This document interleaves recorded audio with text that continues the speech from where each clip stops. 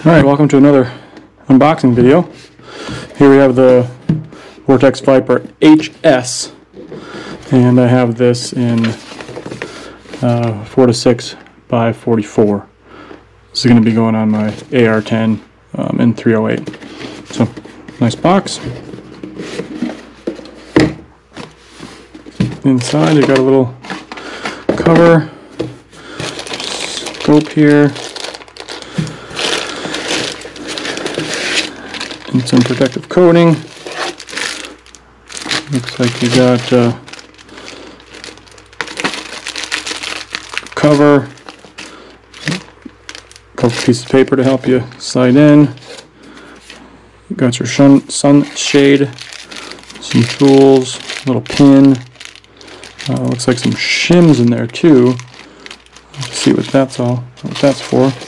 Um, but here's what we're looking for.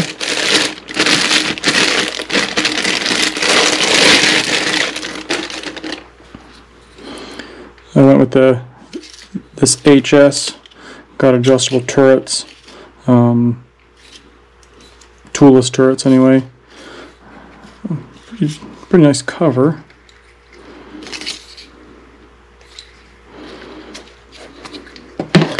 This one, what do we got here?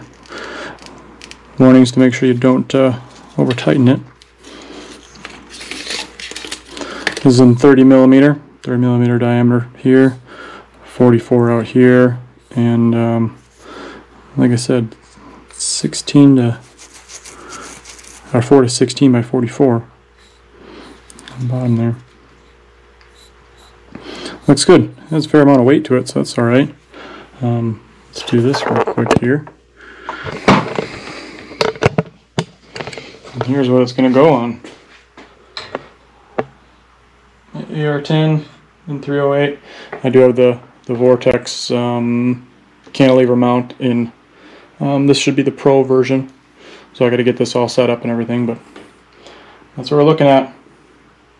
Should be pretty good.